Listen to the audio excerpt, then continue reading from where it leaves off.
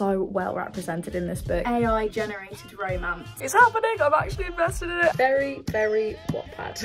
Every nice moment. Why are you telling me that?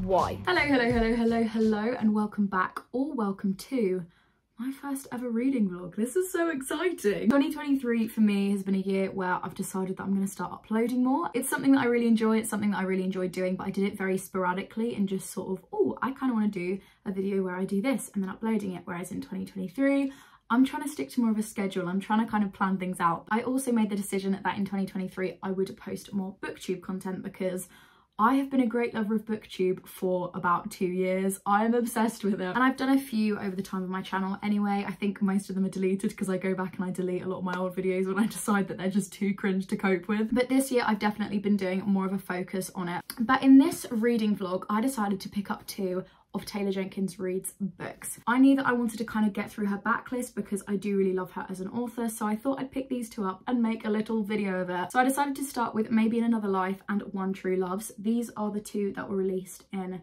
2015 and 2016. That's definitely wrong. Oh no, they were. This is 2015 and this is 2016. So we'll just quickly go through the books before we start. And I started off with Maybe in Another Life. So this story is about Hannah and Hannah is 29 and she's decided to return to her hometown that she left when she was quite young. The rest of her family moved to London when she was quite young. So she kind of only really had her best friend and her best friend's family.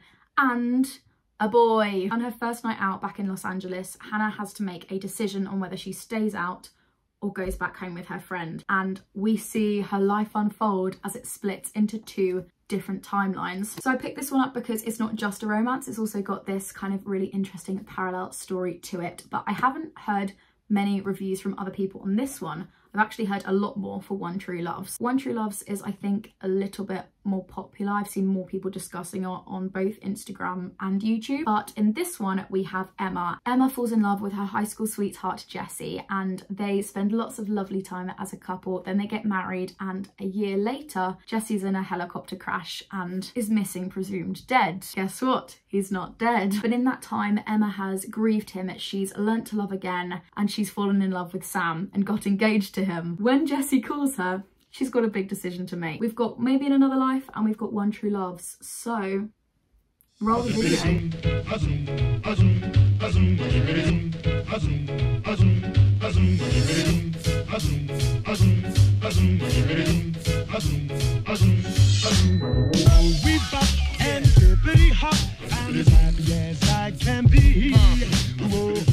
My dark brown hair and my light green eyes. Very, very Wattpad. It's funny because you just put in a load of exposition right at the start through telling another character something that it was kind of like, mm, but you know, you let her get away with it because it is quite like, it's, I suppose, cleverly done. But then it just goes, I'd much rather be depicted with my dark brown hair and light green. Oh.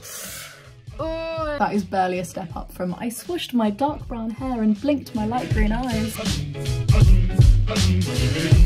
I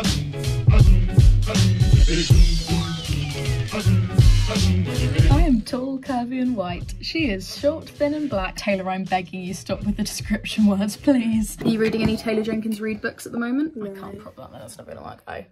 I'm reading We Are Liars. We, we were? Fair, what was the last book I recommended you? Really recommend you Kiki, did I? No. I bought you Kiki and then we both didn't think it was very good. Yeah, that was horrible. So I should probably get and move on with We Were Liars because I'm half through the month and not half through the book. Sorry, I only want to spin the vlog, I don't really know what. I am about to walk to my grandmother's because I am a model grandchild. I'm going away again tomorrow and I thought because it's such a beautiful sunny day, I'm gonna have a little walk. And I was just thinking to myself, it'd be great if I could read and walk at the same time. Then I was like, wait, audiobooks. I'm genuinely so bad with paying attention to things. Like if I'm watching a film or a TV show, I'm gone. That's why I like reading because it's right in front of me, so I have to read it. No one's forcing me to listen, so I just don't listen. But I have just signed up for a little free trial of Scribd to see if I like it. Probably not going to be continuing my subscription after the free trial because I am broke. But for now, I've got my headphones. It is a beautiful sunny day, so I'm gonna go and take a little half hour walk and listen to maybe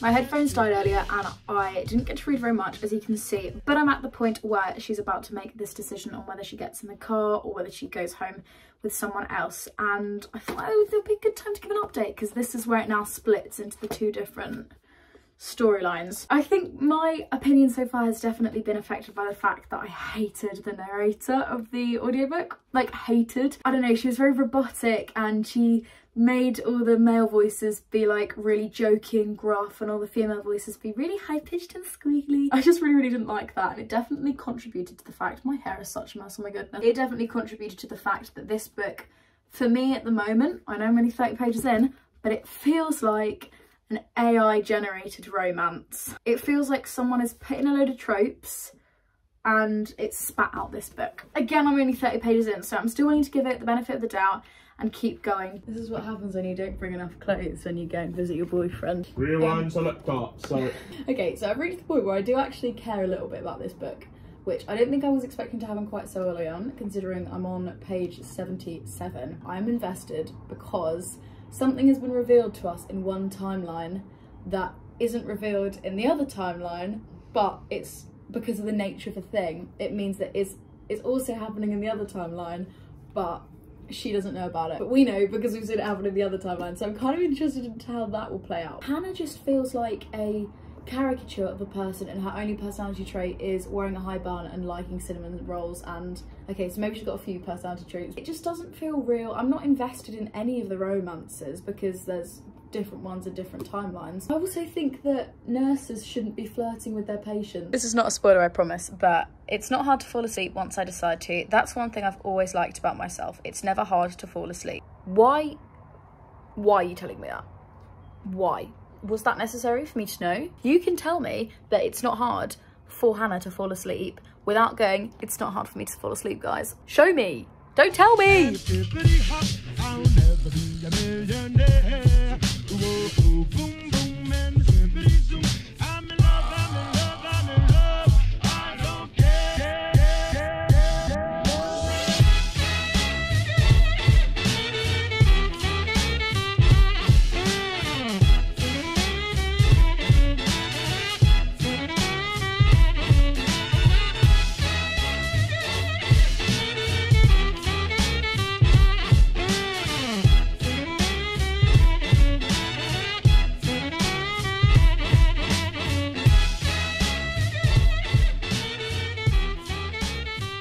So I think what's making me really, really actually get into this book is the fact that it's not really about the romance between Hannah and this guy. I mean, it is, but the driving force and like the soul of the book is more about Hannah and Gabby, her best friend, and it's just it's just so nice to watch them be there for each other when they're going through these really tough times. Ultimately, like they're coming to all of these conclusions about um basically que sera and being like life's gonna do what life wants to do.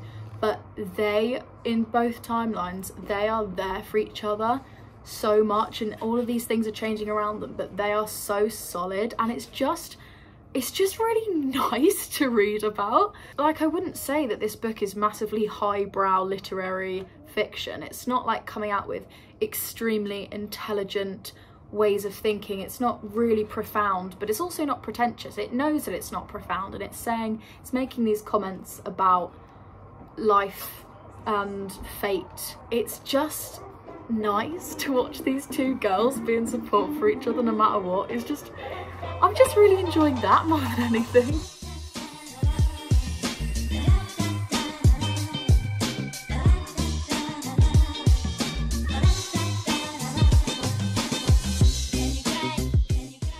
Having a really nice moment where I was really enjoying the conclusions it was coming to. This is a very attractive angle, as you can tell. I was really enjoying the conclusions that it was coming to. I was really happy with the way that Taylor Jenkins Reid is presenting not knowing that everything is gonna you, you don't know if things are gonna be okay or not it's found a nice balance between just let things happen but also things are gonna be what they're gonna be and i was really enjoying this moment where these two friends are sat there and they're working things out together and then one of them says to the other says to the other what is it you want out of life right now guess what she says a cinnamon roll and i can't ruining every nice moment. So I've just finished the very last page of Maybe in Another Life and I think it's gonna be a solid three stars from me because there were bits that I really enjoyed. It's not my favourite book of all time and it's definitely not my favourite Taylor Jenkins Reid. I'd probably go as far as to say it's maybe my least favourite Taylor Jenkins Reid that I've read so far. I don't think she's as good at writing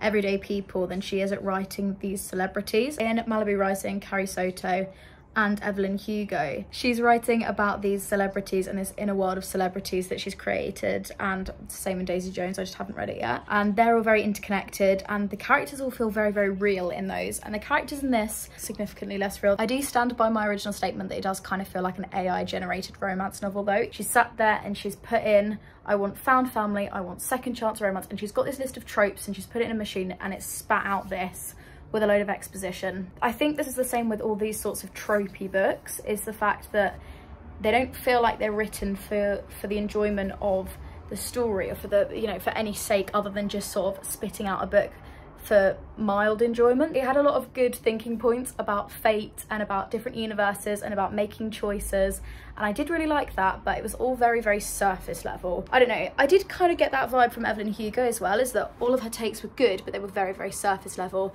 and that's why I quite liked Malibu Rising because I felt like she was saying a lot more with her words. With this it just sort of felt like yeah, I know. We can come to that conclusion on our own. You don't need to repeat it in our face multiple times because you've got people saying it in both of the timelines. I don't really think I had a clear favourite between the timelines. They were both all right. They were both okay. They did what they wanted to achieve. I just didn't feel really that connected with the book, which is a shame, but you know, it was an enjoyable read and I did have a good time. If you want something light-hearted and a little bit spiritual, a little bit theoretical, I think you'd probably quite enjoy this. I'm gonna move on to One True Loves. I don't know if I'm gonna start that now or in the next few days. But yeah, three out of five for this one.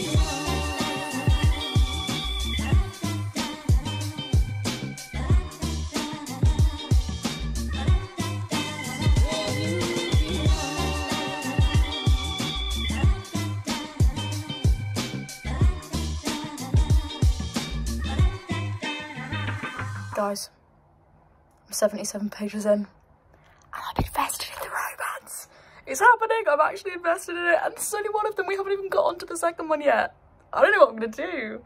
It's such a change, like I did not care about the characters until the very end. Actually by the end I wasn't even that bothered, I cared about the characters in the middle of maybe in another life. But with 77 pages in, I actually care about these people. I think I might need a bit of a hair wash. So last night I got up to the point what page is it? I got up to page 134 last night and this is the point where we've gone through the two backstories of each of the guys. This isn't spoilers, this is in the description. We've gone through Emma's backstory with both Jesse and Sam and I'm attached to both of them. I'm really happy about it because I wasn't expecting to be. All of the characters seem a lot more real, they seem a lot more fleshed out than in maybe in another life and I'm really enjoying it. I'm having a nice time. I mentioned yesterday that I was invested in both of the romances. I still am. I think I have a favourite but I think that that favourite will maybe shift as we go through. Another thing that I did want to mention is the fact that obviously Emma believes that she's lost Jesse and she goes through a period of I think two years where she's grieving and that grief is so well represented in this book. It's done so beautifully.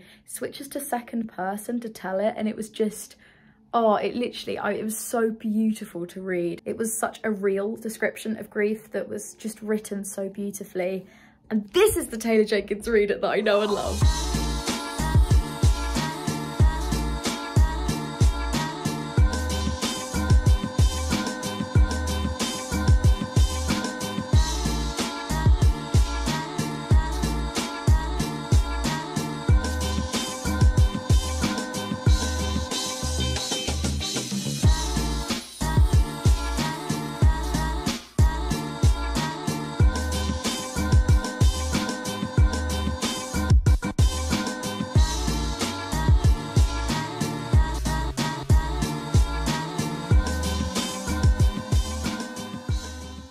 Been a few days. I've obviously finished One True Loves and I loved it a lot more than maybe in another life. I gave this one four stars and I really, really enjoyed it. I don't think it would have ever got five stars because it's not the type of book that I don't think I would give five stars to. But that's not to say that it isn't really, really beautiful because it is. I mentioned earlier, but the description of grief and using the second person was so beautiful and it literally got me so invested in this book because I was having a good time, I was casually enjoying it and then suddenly it hit me with this beautiful prose. I really enjoyed the romance a lot more. I felt like I knew the guys a lot better. In the other book, they just were kind of there to move the plot along whereas in one true loves they felt like they were actual real life people and i could engage with what they were saying. It was actually what those characters would say. I thought it was the perfect level of being emotional and tugging at the heartstrings without being overly traumatic because obviously it's discussing a really serious topic. And i know that's something that people just differ on. It doesn't mean that a book is better or worse because it engages in serious topics or doesn't. It just depends on how well you do them. I gave one true love four stars and maybe in another life three stars. I don't think that those ratings